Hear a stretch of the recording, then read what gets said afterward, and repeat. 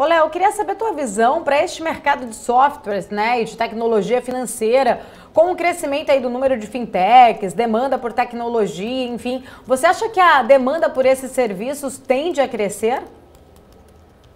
Com certeza, eu acho que é, é uma tendência natural do mercado, já que o mercado financeiro é, ainda continua bastante subpenetrado aqui no Brasil, né? Se a gente pensar é, no número de empresas listadas na bolsa, aqui a gente tem uma um, por renda per, por, por, renda per capita aqui no Brasil, né, é menor do que a Austrália, menor que Irã.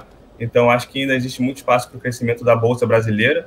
E, e, quanto maior o desenvolvimento do mercado de capitais, eu acho que maior vai vir é, o crescimento do mercado financeiro como um todo, então de intermediários financeiros, de assets, de bancos, é, principalmente quando a gente fala nas iniciativas do, do Banco Central também de estimular a concorrência no setor financeiro, então a chegada do Pix, Open Banking, é, vai estimular muito o crescimento das fintechs para frente. Né? Então, com certeza é uma tendência para frente e, e, e, é um dos motivos que esse negócio faz sentido para a B3 também. Né? Uhum. Com a entrada, você acha que nesse segmento financeiro aí da B3 e da TOTUS, você acredita que a Sinca, por exemplo, pode acabar pode encontrar aí concorrentes para a operação? Você acha que a empresa pode, de certa forma, ser afetada?